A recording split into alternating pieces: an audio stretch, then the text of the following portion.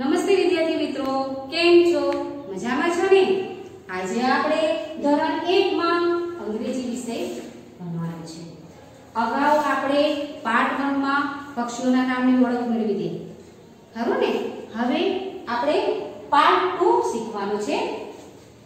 તો બધા જ બાળકો આવી ઇન્સ પ્રાઇમર ચોપડી કાઢશે, જેમાં પેજ નંબર 31 જેમાં આપણે અગાઉ આપણે પક્ષીઓ શીખી ગયા હતા આગળના આપણે બીજા પક્ષીઓની આપણે ઓળખ મેળવવાની છે.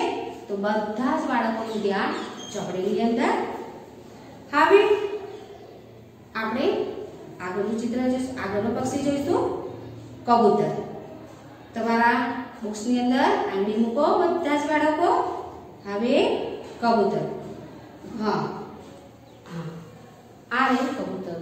કબૂતરનું ચિત્ર. હા. તમે કબૂતર જોયું છે, બાળકો? કબૂતર કેવા રંગના હોય છે, તમને ખબર છે? હા ઘેરો આછો રાખોડી રંગ. રાખોડી રંગ પણ જોવા મળે છે અને સફેદ રંગના પણ કબૂતર આપણને જોવા મળે છે.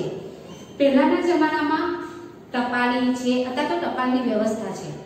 પણ પહેલાના જમાનામાં એ જગ્યાએથી બીજી જગ્યાએ સંદેશો મોકલવો હોય તો કોઈ એવા ટપાલી ન હતા. કે આપણને જે અત્યારે પરમીડિયા છે કે ગમે તે છે તે મળી જાય છે, તેઓ ત્યાં આપણે સંદેશાવાહક તરીકે આ સફેદ કબૂતર આપણે ઓળખીએ છીએ. ત્યારે આ સફેદ કબૂતર છે એ શાંતિદૂત તરીકે પણ આપણે એને ઓળખી શકાય, કહી શકાય. શાંતિદૂત એ એક જગ્યાએથી બીજી જગ્યાએ તે પોતાનો જે આપણે અહીંયા સંદેશો જે મોકલવાનો હોય તે એક જગ્યાએથી બીજી જગ્યાએ જઈ અને એ આપણો સંદેશો મોકલતું હોય છે. એના કબૂતરની ચિઠ્ઠી, કબૂતર દ્વારા ચિઠ્ઠી, કબૂતરને આપણે ચિઠ્ઠી આપીએ, એ એ ચિઠ્ઠી આપણે જે જગ્યા પર, જે સ્થળ પર મોકલવાની હોય, તે સ્થળે તે પહોંચાડતું હોય છે. એટલે આ કબૂતર શાંતિદૂત તરીકે પણ ઓળખાય છે. તો આ કબૂતર એ કબૂતરને આપણે અંગ્રેજીમાં શું કહીશું ખબર છે તમને? પિંજન એટલે પિંજન એટલે કબૂતર. તેવી જ રીતે બીજું પક્ષી છે. કયું પક્ષી છે? ઓળખો બાળકો. કોયલ. સરસ. આ કોયલ કેવા રંગનું છે? કાળા રંગનું. કાગડાના જેવું જ એનો રંગ કાળો છે. પણ કાગડો થોડો મોટો છે. કોયલ નાની છે. હા, આ કોયલ માળો બનાવતી નથી. એ પોતાના પોતાના ઈંડા કાગડાના માળામાં જઈને મૂકી આવે છે. આ કોયલ મીઠું બોલે છે. હા, તમે કહો છો ને કોઈ ફળ એવું હોય તો મીઠું લાગે તો કે કોયલ પદું છે. કોયલ એ પોતાના એ ફળો ખાય છે. કોયલ શું ખાય છે? ફળ એનો ખરાબ છે. તો એ ઝાડ પરથી ફળ ખાય, થોડા ખાય અને થોડા છોડી દે. પણ જે કોયલે ફળ ખાધું હોય, એ ફળ કેવું લાગે? મીઠું લાગે. કેવું લાગે? મીઠું. એટલે અને કોયલનો અવાજ પણ એટલો મધુર અને મીઠો કે આપણે બસ બે ઘડી એના અવાજને સાંભળી જ રહીએ એટલું એનો મીઠો અવાજ છે. એટલે આ કોયલને આપણે અંગ્રેજીમાં શું કહીશું? ખબર છે તમને? કુક એટલે કુકુ એટલે કોયલ. કુકુ એટલે કોયલ. પછી એની બાજુમાં કયું છે, પક્ષી. ખબર છે તમને? ગરોળ ગરોળ છે? ને હા. તો આ ગરોળ કોણ વાહન છે? ખબર છે તમને? વિષ્ણુ ભગવાનનું વાહન છે. હા, અને આ ગરુડ આકાશમાં ઊંચે ઉડી શકે છે અને ઊંચે ઉડી અને એની એવી તીવ્ર દ્રષ્ટિ છે, તીક્ષ્ણ દ્રષ્ટિ છે કે નીચેનું જે કઈ વસ્તુ છે તે એ જોઈ શકે છે. એની જોવાની પણ દ્રષ્ટિ એટલી ચકોર છે. હા, આ ગરુડ પક્ષીઓનો રાજા પણ કહેવાય છે.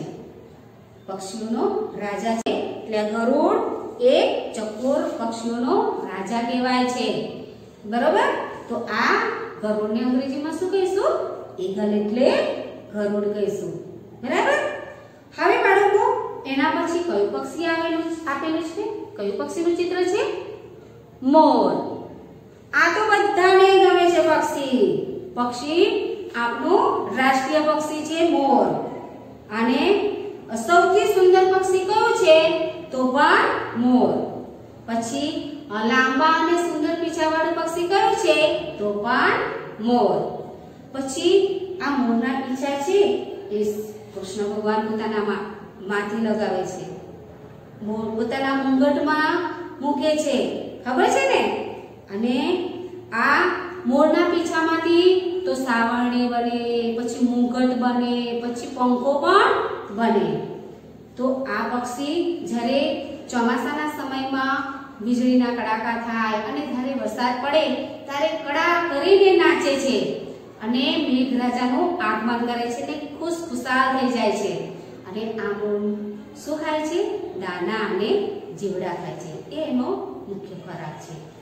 મોર એટલું સુંદર પક્ષી છે કે બધા જ બાળકો મોરને ભેગડી જોઈ અને આનંદ વિભોર પણ થઈ જાય છે. થઈ જાય છે ને બધા બાળકો? સરસ. તો આ મોરને અંગ્રેજીમાં આપણે શું કહીશું? ખબર છે તમને? પીકોક. પીકોક એટલે મોર.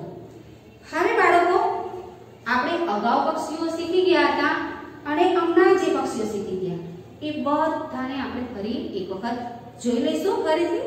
તો બધા બાળકોનું ધ્યાન ચોપડીમાં. અને પહેલા પક્ષીના ચિત્રથી આંગળી મૂકશે. અને મેડમ જે બોલાવે તે પ્રમાણે તમારે બોલવાનું રહેશે. પેરટ એટલે પોપટ સ્પેરો એટલે ચકલી ક્રો એટલે કાગડો. કોક એટલે કુકડો. હેન એટલે મરઘી પિંજણ એટલે કબૂતર. કુકુ એટલે કોયલ ઈગલ એટલે ગરુડ, પીકોક એટલે મોર. સરસ. તો બધા બાળકો પક્ષીઓના નામની ઓળખ મેળવી. બધાને મજા આવી ને? સરસ. તો આ પક્ષીઓને આપણે તૈયાર, આ પક્ષીઓના નામને તમારે તૈયાર પણ કરવાના છે. ગુજરાતીમાં તો તમે ઓળખો જ છો, નામને ઓળખો છો. પણ આ પક્ષીને અંગ્રેજીમાં કેમ કહેવાય છે? તેની આપણે ઓળખ મેળવી. બરાબર? હવે આ તમારે તૈયાર પણ કરવાનું છે એટલે કેટલી વાર? પાંચ વખત બોલવાના છે પક્ષીઓના નામ. બરાબર? અને મમ્મી પાસે એનો ટેસ્ટ પણ આપી દેવાનો. તો હવે નવા લેસન સાથે બાળકો આપણે ફરી મળીશું. તો બાય.